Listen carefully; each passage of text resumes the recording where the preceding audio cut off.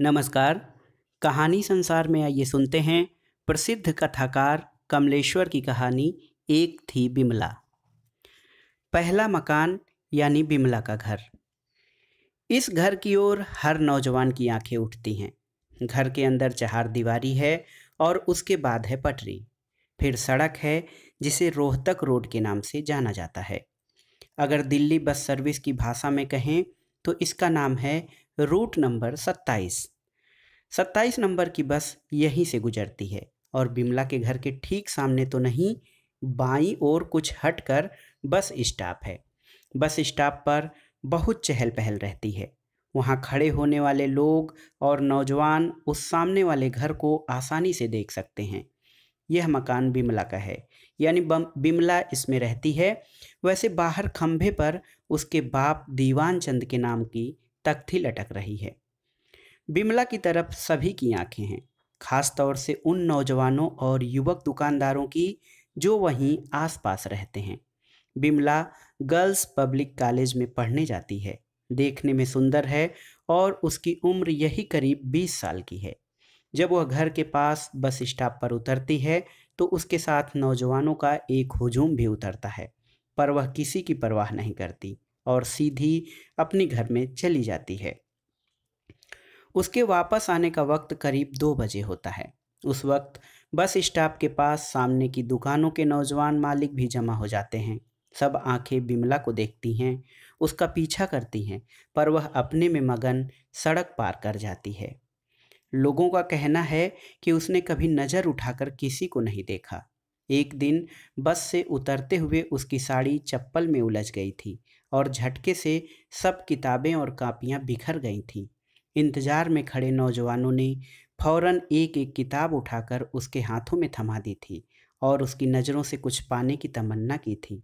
खास तौर से एक नौजवान ने बड़ी सज्जनता से आगे बढ़कर पूछा था, आपको चोट तो नहीं आई? जी नहीं। बिमला ने बहुत शालीनता से कहा था और अपनी किताबें लेकर चली गई थी। दूसरे दिन वही नौजवान खास तौर से बिमला के सामने पढ़ने के लिए एक बजे से बस स्टॉप पर खड़ा था। आखिर एक बस से बिमला उतरी। पहचान को और गहरा बनाने के लिए उस नौजवान ने बढ़कर उससे बात करनी चाहिए, पर बिमला चुपचाप, सकुचाती सड़क पार कर गई। बहुत दिनों से यही हो रहा है, पर बिमला है जिससे उसमें कोई ज्वार ही नहीं उठता। अगर उठता भी है तो वह बहुत शालीनता और सफ़ाई से उसे दबा जाती है।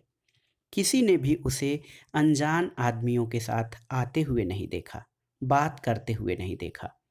बिमला का बाप बहुत पैसे वाला भी नहीं, वह किसी प्राइवेट फर्म में काम करता है और अपने घर का भार उठाए उम्र काटता जा रहा है। हाँ बिमला को ये एहसास हर वक्त रहता है कि उसका बाप है और वह बहुत समझदार और मेहनती आदमी है। अपने बाप के संघर्ष को वह जानती है। घर की खस्ता हालत भी उससे छिपी नहीं है, पर वह यह भी जानती है कि बाप के रहते उसे कोई दुख नहीं हो सकता। पढ़ाई खत्म करने के बाद वह कहीं नौकरी करेगी, छोटे भाइयों को पढ़ाएगी और अगर कोई अच्छा सा नौजवान मिल गया तो बाद में उसे शादी कर लेगी। इस पहले मकान के आसपास रहने वाले सभी लोगों की यह पक्की राय है कि बिमला एक निहायत और सुसंस्कृत लड़की है। उसकी जबानों पर सिर्फ़ उसकी तारीफ़ है। बिमला के बाप दीवान चंद का कहना है कि वे सिर्फ़ बिमला की पढ़ाई खत्म होने का इंतज़ार कर रहे हैं। जिस दिन उसने बीए पास किया, वे किसी बहुत अच्छे नौजवान से उसकी शादी कर देंगे। अगर बिमला कहीं खुद शादी करना चाहती है तो भी उन्हें कोई इनकार ना होगा। शर्त एक ही है कि लड़का अच्छे घराने का और अच्छी नौकरी या कारोबार में लगा हुआ होना चाहिए। बिमला के घर की तरह शायद हज़ारों घर हैं और उसकी तरह की लाखों लड़कियाँ भी हैं। उतनी ही सुंदर, सुशील और समझदार। हर लड़की पढ़ रही है और अपने घर के खस्ता हाल से परिचित है। अपने बाप भाइयों के संघर्ष की जानकारी उसे है। हर लड़की अपने घर को और अच्छा बनाना चाहती है। हर लड़की यह भी चाहती है कि कोई उसकी तरफ़ उंगली न उठा सके। सब लोग उसके बारे में बहुत अच्छी अच्छी बातें सोचें, उसकी खूबसूरती को सराहें और गुणों की प्रशंसा करें। वह अपने घर की इज़्ज़त का जीता जागता नमूना बने और बाप भाइयों की नाक उसकी वजह से ऊँची रहे। शादी के बाद सब जानने वालों को यह संतोष हो कि उसका पति बहुत इज्जतदार अहदेदार और शानदार आदमी है। और वह शादी के बाद भी अपने भाई बहनों की प्यारी बनी रहे, उनकी मदद कर सके और घर में गौरव प्राप्त कर सके। पहले मकान में रहने वाली बिमला भी यही चाहती थी और जो यह चाहती थी, वह सब उसके सामने पूरा भी होता जा रहा था। उम्मीद भी यही है कि उसके सब सपने साकार हो जाएँगे, क्योंकि जो कुछ वह चाहती है, वह पा लेना बहुत मुश्किल भी नहीं है। और उस पहले मकान यानी बिमला के घर की यह कहानी यहीं ख़त्म हो जाती है। क्योंकि अभी इससे आगे कुछ हुआ ही नहीं। इस तारीख तक घटनाएँ यहीं तक पहुँची हैं। इसलिए यह बात यहीं पर ख़त्म होती है। परमात्मा करें, सबको बिमला जैसी सुशील और समझदार लड़की मिले और किसी की नाक नीची न हो, क्योंकि दुनिया यही चाहती है। अब आइए जानते हैं दूसरा मकान, यानी कुंती का घर। बिमला के घर से यह मकान काफ़ी दूरी पर है। यूँ देखने पर बिमला और कुंती का कोई संबंध भी नहीं है। पर न जाने क्यों उसमें बिमला की झलक सी दिखाई पड़ती है। बिमला कुंती को नहीं जानती और न कुंती उसे। यह भी ज़रूरी नहीं है कि जो लोग बिमला को जानते हैं, वे कुंती को जानते ही हों। बहुत से ऐसे लोग हैं जो कुंती को कतई नहीं जानते। इत्तेफाक की बात यह है कि कुंती का मकान भी इसी सड़क पर है। मकान क्या? एक कमरा कह लीजिए। कई साल पहले पूरा मकान लाल रंग का हाथ तंग होता गया और मकान के कमरे किराए पर चढ़ते गए। उनके मकान के फाटक पर भी पहले उनके नाम की तख्ती रहती थी, पर फिर उस पर बाकी किराएदारों के नाम की तख्तियाँ लटक गईं और मकान में हिस्सेदारी के अनुपात का सम्मान करते हुए फाटक पर औरों का हक हो गया। मनोहर लाल की तख्ती वहाँ से उठकर कमरे की दीवार पर चली गई। जिस वक्त वह तख्ती कमरे की दीवार पर पहुँची, उस वक्त मनोहर लाल की हालत बहुत खस्ता थी। नौकरी करने के बावजूद खर्चे का पूरा नहीं पड़ता था। कर्जा भी सिर पर चढ़ता जा रहा था। कुंती से बड़ा एक लड़का था तो ज़रूर, पर वह शादी के बाद अलग हो गया था। उसने सभी संबंध तोड़ लिए थे। घर से उसका कोई वास्ता नहीं रह गया था। अब घर के पाँच बच्चों में सबसे बड़ी कुंती ही है। एक छोटी बहन और तीन भाई और हैं। एक दिन दिल का दौरा पड़ने से मनोहर लाल की मौत हो गई। उस वक्त कुंती इंटर में पढ़ रही थी। मनोहर लाल के मरने के बाद घर की देखभाल और खर्चे का पूरा भार कुंती पर ही आ गया था। दीवार पर लगी हुई तख्ती उतारकर अपनी पुरानी चीज़ों वाले बक्से में आदर से रख दी गई, क्योंकि जब जब कुंती बाहर से आती थी, वह तख्ती देखकर उसकी आँखें भर आती थीं। मरने से पहले मनोहर लाल को यही संतोष था कि कुंती जैसी सुशील समझदार लड़की कम से कम इस ज़माने में मिलना बहुत मुश्किल था। वे यही सोचते थे कि कुंती के बीए पास करते ही उसकी शादी किसी बहुत अच्छे नौजवान से कर देंगे। ऐसे नौजवान से जिसका खानदान भी ऊँचा हो और जो खुद ऊँची जगह पर हो। अगर कुंती चाहेगी तो वो उसकी पसंद के लड़के के लिए तैयार हो जाएँगे, क्योंकि उन्हें सिर्फ़ कुंती की खुशी चाहिए थी। बहरहाल उन्होंने न जाने क्या क्या सोचा होगा और कुंती ने क्या क्या मन में तय किया होगा। जहाँ से हम उसे जानते हैं, वहाँ से सिर्फ़ इतना ही बता सकते हैं कि वह इस वक्त एक नर्सरी स्कूल में मास्टरनी है, जहाँ से उसे सौ रुपये तनख्वाह के रूप में मिलते हैं, जिससे छोटे भाई बहनों की पढ़ाई का पूरा खर्चा भी नहीं निकलता। नर्सरी स्कूल से लौटने पर वह किसी जगह ट्यूशन के लिए भी जाती है। वह संघर्षों के बीच से गुजर रही है और अपने घर की इज़्ज़त को बचाए रखने का भरसक प्रयास कर रही है। जैसे जैसे वह सारा सामान मुहैया करती है, चींटी की तरह हर वक्त चुपचाप काम और प्रयास में लगी रहती है। उसी के घर के पास एक सर्राफे की दुकान है और खरात का काम करने वाले सरदार का कारखाना। असल में वह खरात का कारखाना भी उसी सर्राफे का है, उसमें काम करने वाला सरदार उसका नौकर है। उस कारखाने में तमाम पुरानी चीज़ें भरी हुई हैं। अंट संट तरीके से बोरे भरे हुए हैं, जिसमें पुराना सामान है। सर्राफे की यह दुकान गरीबों को बहुत सहारा देती है। पिछले पाँच बरस से कुंती अपनी परिस्थितियों से लड़ती आ रही है, लेकिन जैसे यह शायद किसी को पता ही नहीं था। बलवंत राय सर्राफ की दुकान में शीशे की अलमारियाँ हैं, जिसमें चांदी, कांसे का जेवर भरा हुआ है। एक सेफ़ दीवार में गड़ी हुई है, जिसमें उसके कहने के मुताबिक सोने का सामान और कीमती पत्थर, मोती वगैरह बंद है। बलवंत राय है तो सर्राफ पर उसके कितने कारोबार हैं, इसका ठीक ठीक पता किसी को नहीं है। पुराना सामान भी खरीदता है और नए का व्यापार भी करता है। वह नए से नए फ़ैशन के कपड़े पहनता है, पर पेट ज़्यादा निकला होने के कारण हर कपड़ा उसके ऊपर बहुत बेडौल लगता है। वह लोगों की मुसीबत परेशानी में काम आता है।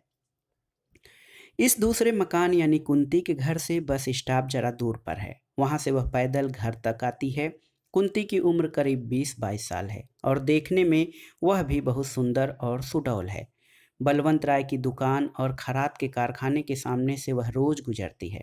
बलवंत राय उसे रोज देखता है, इसलिए वह इसलिए खाना खाने देर से जाना चाहता है कि जरा एक नज़र कुंती को देख ले। लेकिन थोड़ी सी जान पहचान के बावजूद, कुंती न तो उधर देखती है, न ख्याल ही करती है।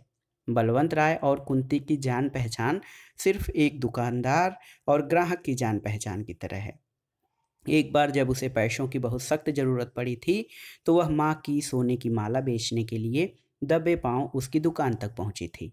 बलवंत राय ने एक कुशल दुकानदार की अतिरिक्त सज्जनता और नम्रता की तरफ़ ध्यान देने की कोई ज़रूरत उसने नहीं समझी थी। माला खरीद लेने के बाद बलवंत राय उस एक दिन की जान पहचान को और गहरा बनाने के लिए हर तरह की कोशिशों में लगा हुआ था। कुंती के लौटने के समय वह अंगुलियों में कीमती मोतियों की चार अंगूठियाँ पहनकर दुकान के बाहर पटरी पर खड़ा होता था। कुंती हमेशा उसी पटरी से सिर झुकाए गुजर जाती थी। कुछ ही दिन बाद कुंती फिर शाम के धुधलके में उसकी दुकान पर आई थी और माँ की पुरानी कीमती साड़ी की सीने के काम वाली किनारी और पल्लू के फटे हुए टुकड़े बेच गई थी। जान पहचान फिर भी वहीं रुकी हुई थी। बलवंत राय की दुकान और कारखाने में कुंती के घर की बहुत सी चीज़ें पहुँच चुकी थीं। कुछ पुराने भारी भारी बर्तनों की खराद चढ़ाकर और नया बनाकर वह बेच भी चुका था। गिलट और पीतल के गुलदस्ते भी वह खरीद चुका था, पर जो वह चाहता था वह नहीं हुआ। कुंती से उसने हर बार बातें की थी, पर उसकी बातों में कहीं कुछ भी ऐसा नहीं था कि बलवंत राय कोई मतलब निकाल सकता। कुंती से घर की तमाम पुरानी और इस्तेमाल की हुई चीज़ें खरीदने के बाद भी दूरी उतनी ही बनी हुई थी। वह हर बार कोई न कोई शिष्ट मज़ाक करता और चाहता कि कुंती कम से कम एक बार मुस्कुराकर उसकी बात का जवाब तो दे दे पर कुंती बिमला की ही तरह कभी मुस्कुराई नहीं। उसने हमेशा सीधी सीधी बातें की, चीज़ दी और कम ज़्यादा जो भी पैसा मिला लेकर चली गई। बलवंत राय ने हमेशा यही ज़ाहिर किया कि वह न सिर्फ़ कीमती से ज़्यादा पैसा ही देता है, बल्कि उन चीज़ों को भी खरीद लेता है जो उसके काम की नहीं है, जैसे चश्मे का पीतल का पुराना फ्रेम, पूजा के छोटे छोटे बर्तन और पुरानी टूटी हुई पतीलियाँ। कुंती भी मन ही मन उसकी बहुत कृतज्ञ थी, लेकिन मुस्कुराकर बात करने का सवाल कभी नहीं उठा था, क्योंकि ज़िंदगी के भारू होते जाने के बावजूद तब तक वह गाड़ी खींच रही थी। कुछ ऐसी आशाएँ बाकी थीं जिन्हें वह सजोकर रखना चाहती थी, और कुछ ऐसे सपने भी शेष थे जिनके साकार होने की उम्मीद उसे थी। अभी खुशियों के कुछ एहसास बाकी थे जो उसे मुस्कुराने नहीं देते थे। वह अपनी मुस्कुराहटों को बचाकर रखना चाहती थी। उस दिन के लिए, जबकि वे खुशियाँ वापस आएँगी, उसके छोटे छोटे भाई बड़े होंगे और घर का नक्शा बदलेगा। आखिर वह दिन आ ही गया, जबकि उसकी मुस्कुराहट होठों पर आ गई। वह दिन बेहद खुशनुमा था। बरसात का मौसम था। आसमान में काले काले बादल छाए हुए थे। भीगी भीगी हवा चल रही थी। दूर से आती हवाओं के साथ मेहंदी के फूलों की महक आ रही थी। रह रहकर बूंदी बांदी हो जाती थी। पेड़ घुलकर नए हो गए थे, सड़कें साफ़ हो गई थीं। उस वक्त शाम के सात बज रहे थे। सूरज डूब चुका था, पर अभी कुछ कुछ बाकी था। कुंती के घर में अजीब सा सन्नाटा छाया हुआ था। माँ को दो दिन पहले बेहोशी का दौरा पड़ा था। घर में इलाज कराने के लिए पाई नहीं थी, इसलिए वह जनाने अस्पताल में पड़ी हुई थी। उसे देखने जाने और तीमारदारी में सब पैसे खत्म हो चुके थे। तीनों भाई और अकेली बहन समझदार और नेक बच्चों की तरह चुपचाप अधपेट खाए बैठे हुए थे। किसी के चेहरे पर कोई शिकायत नहीं थी। कुंती एक तरफ़ बैठी हुई बारी बारी से सब चीज़ों पर निगाह डाल रही थी, लेकिन अब घर में कोई भी ऐसा सामान नहीं था जो बेचा जा सके या बिक सके। तस्वीरों की लकड़ी के फ्रेम बिक नहीं सकते, तवा और आखिरी पतीली बेची नहीं जा सकती और दो दो चार चार आने में दो तीन चीज़ें बिक भी जाएँ तो कुछ हासिल नहीं होता था। मौसम बहुत सुहावना था। हर तरफ़ से जैसे खुशियाँ फूट पड़ रही थी। पेड़ों पर अजीब सी ताजगी छाई हुई थी और ऐसे खुशनुमा वक्त में कुंती की आँखें रह रह कर भर आती थीं। दिल में अजीब सी हुक उठती। भाई बहनों के मासूम चेहरों की तरफ़ जब देखती थी तो मन बैठने लगता था और आँसू नहीं थमते थे। आखिर वह कमरे के बाहर आकर खड़ी हो गई। कुछ देर पशुपेश में रही, फिर भीतर जाकर उसने कपड़े बदले, अपने बाल ठीक किए और छोटी बहन को समझाकर कि वह कभी जा, आ रही है, वह बाहर निकल आई। उसकी चाल में कोई संकोच नहीं था। मन अजीब सी मजबूरी की अनुभूति और हिचक से भरा हुआ था और वह हमेशा की तरह फिर बलवंत राय की दुकान पर खड़ी थी। शाम गहरी हो गई थी। आज वह दिन आ गया था जब उसका मन बहुत भारी था और दुखों के बोझ से हल्की सी मुस्कुराहट होठों पर उतर आई थी। बलवंत राय ने वह मुस्कुराहट देखी तो सहसा विश्वास नहीं कर पाया। हकलाते हुए बोला, आइए आइए, वहाँ क्यों रुक गई? कुंती भीतर चली गई। एकाध ग्राहक और बैठे हुए थे। कुंती हमेशा की तरह बेंच पर बैठ गई। बलवंत राय ने ग्राहकों को जल्दी से निपटाकर विदा किया और कुंती को देखा तो उसे सिर्फ़ वह मुस्कुराहट ही नज़र आई। इतने दिनों का परिचय सहज सम्मान का रूप ले चुका था। बलवंत राय ने धीरे से कहा, कहिए, क्या सेवा करूँ? बहुत सकुचाते और हिचकते हुए कुंती ने मुस्कुराने की फिर कोशिश की। उसके होठों पर मुस्कुराहट की लकीर खींच गई और वह नीची निगाह करके बोली, आज असल में हमें बीस रुपए की सख्त ज़रूरत थी। चीज़ तो कोई ला नहीं पाई। वह बात यह थी कि बलवंत राय ने कुछ जानना ज़रूरी भी नहीं समझा। कुंती के घर की हालत का पता उसे था और उसके मन में मदद करने की बात भी थी। उसने फ़ौरन बीस रुपये आगे बढ़ा दिए तो बहुत संकोच से लेते हुए कुंती ने कहा, पहली तारीख को दे जाऊँगी। कोई बात नहीं, आ जाएँगे। बलवंत राय ने कहा तो वह जैसे उबर आई थी, मन का बोझ भी कुछ हल्का सा लग रहा था। वह हमेशा की तरह चुपचाप बाहर निकल आई, पर आज उसने आगे बढ़ने से पहले बलवंत राय के चेहरे पर कुछ भाव पढ़ने की कोशिश करनी चाहिए। वह हमेशा की तरह ही शालीनता से मुस्कुरा रहा था। कुंती भी धीरे से मुस्कुराई और हमेशा की तरह ही चुपचाप पटरी पर चल दी। कुंती के घर की तरह शायद हज़ारों घर हैं और उसकी तरह लाखों लड़कियाँ हैं, जो आज अपने पैरों पर खड़े होकर कुछ बनना चाहती हैं और अपने घर की खुशियाँ वापस लाना चाहती हैं। पर लड़की किसी बहुत खूबसूरत दिन के लिए अपनी सब मुस्कुराहटें सजोकर रखना चाहती है। दूसरे मकान में रहने वाली कुंती भी यही चाहती थी और जो वह चाहती थी, उसके मिलने का विश्वास उसे शायद अभी तक है, आज शाम तक था। और उस मकान यानी कुंती के घर की यह कहानी भी ख़त्म हो जाती है, क्योंकि अभी इससे आगे कुछ हुआ ही नहीं। इस तारीख तक पहनाए, ये घटनाएँ यहीं तक पहुँची हैं, इसलिए यह बात यहीं पर ख़त्म होती है। परमात्मा करे, ऐसा खुशनुमा दिन कभी न आए। और किसी को मुस्कुराना न पड़े, क्योंकि दुनिया यही चाहती है। तीसरा मकान, यानी लज्जा का घर। लज्जा का घर ठीक उस चौराहे पर है, जहाँ से बाग के लिए रास्ता कटता है। उसे घर नहीं, फ्लैट कहा जाता है। बिकला या कुंती, बिमला या कुंती से लज्जावती का कोई संबंध नहीं है। फिर भी एक संबंध सा दिखाई पड़ता है। उन दोनों को यह भी नहीं पता कि जहाँ से बाग के लिए रास्ता कटता है वहाँ कोई ऐसा शानदार फ्लैट भी है और वहाँ लज्जा नाम की कोई लड़की रहती है। लज्जा भी कुंती और बिमला की तरह खूबसूरत है, लेकिन उसके रहन सहन ने उसे कुछ ज़्यादा ही खूबसूरत बना रखा है। उसके घर में रहने वाले और लोगों के कपड़ों, जूतों और बालों में चमक तो है, पर चेहरों पर धन की ललाई नहीं है। ऐसा लगता है जैसे इन लोगों के दिन फिर गए हैं और ये एकाएक मालदार हो गए हैं। लज्जा को जब भी लोगों ने देखा है, मुस्कुराते हुए ही देखा है। अपनी कोई कार उसके पास नहीं है, पर वह हमेशा या तो किसी कार से जाती है या टैक्सी से। ठीक तो मालूम नहीं, पर सुना यही है कि वह किसी बड़े होटल में रिसेप्शनिस्ट है।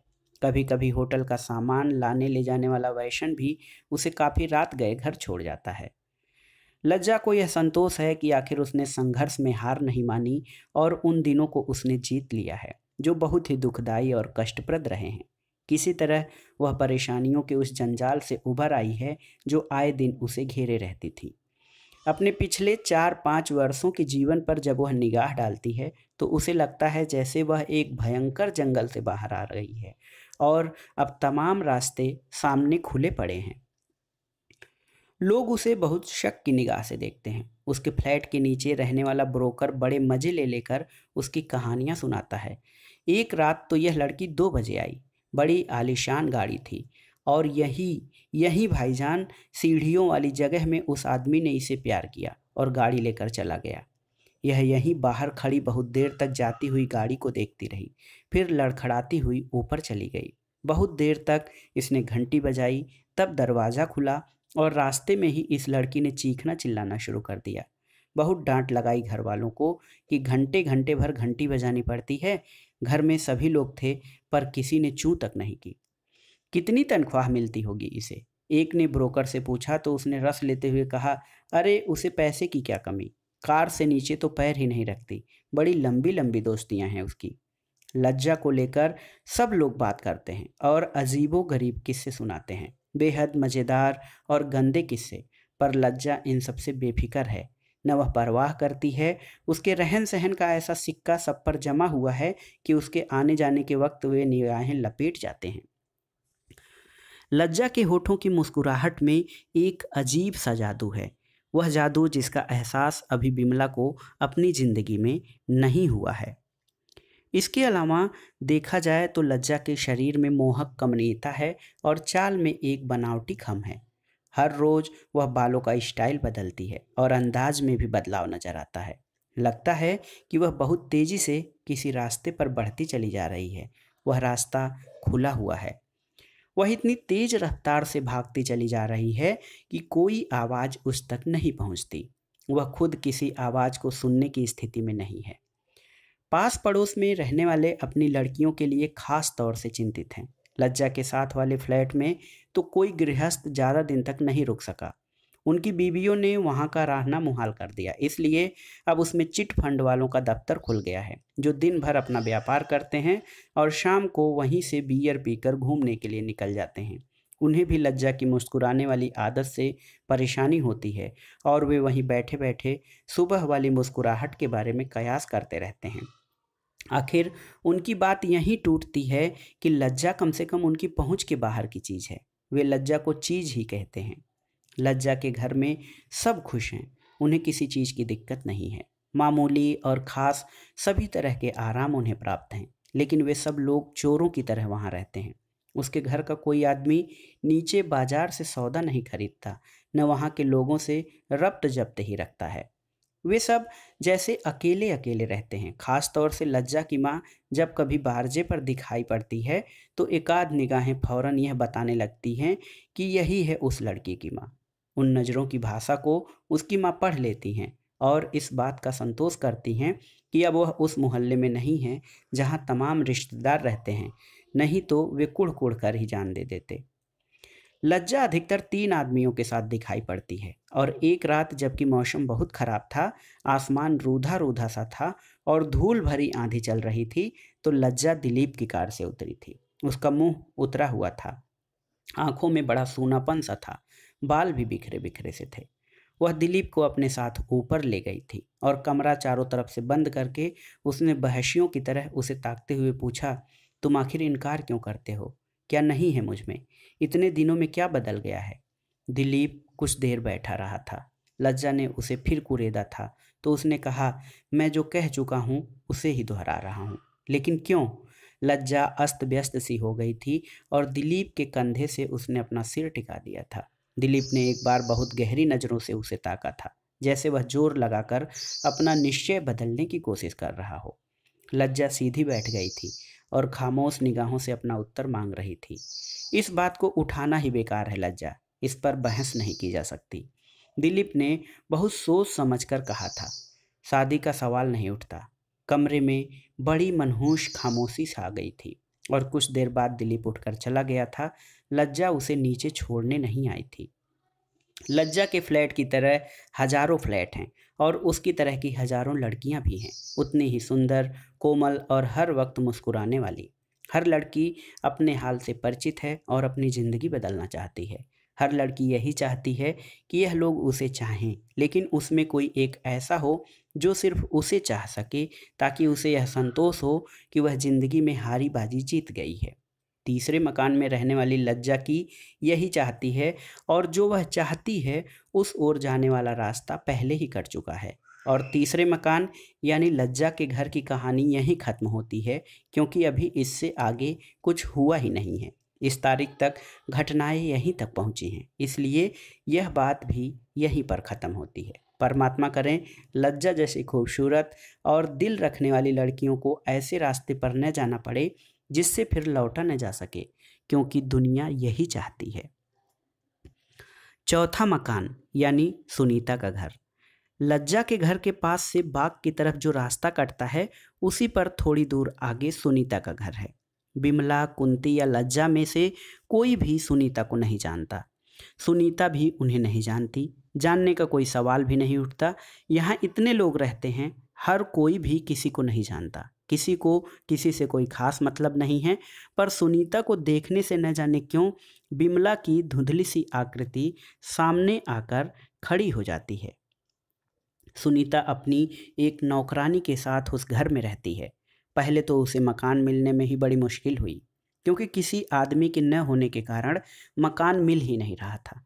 बमुश्किल तमाम उसे यह घर मिला है और वह बहुत घुटी घुटी उजड़ी उजड़ी सी रहती है। उम्र उसकी ज़्यादा नहीं, यही बिमला से थोड़ी बड़ी या शायद लज्जा की उम्र की होगी। पर जैसे अकेलेपन के घेरे ने उसे बिल्कुल बदल दिया है।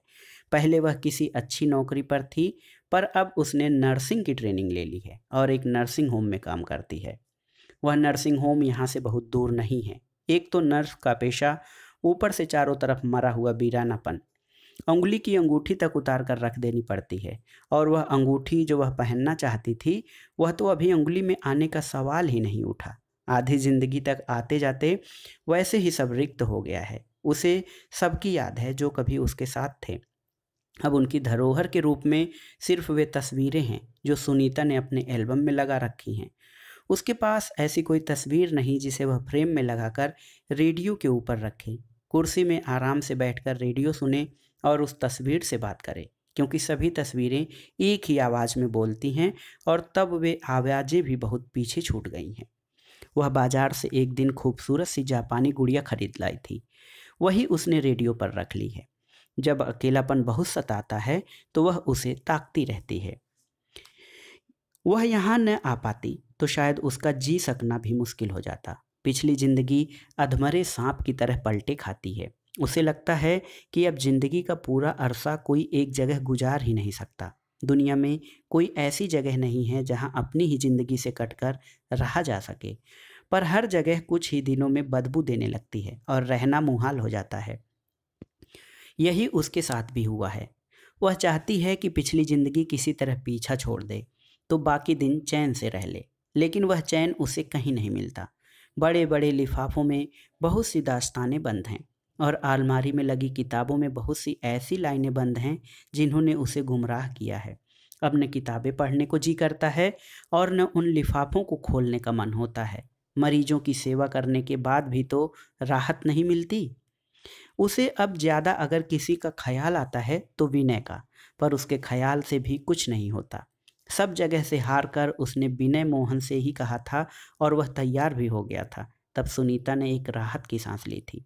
कुछ दिनों में उमंगे फिर जैसे पनपने लगी थी और लगता था बीती हुई ज़िंदगी बीत गई।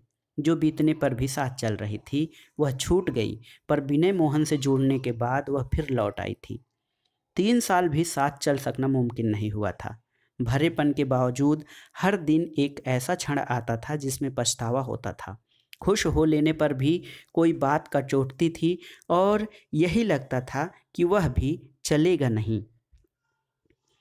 रात बाहों में सोने पर भी जैसे अनजाने ही करवटें बदल जाती हैं, वैसे ही रह रहकर सब कुछ छूट जाता था, सब बदल जाता था।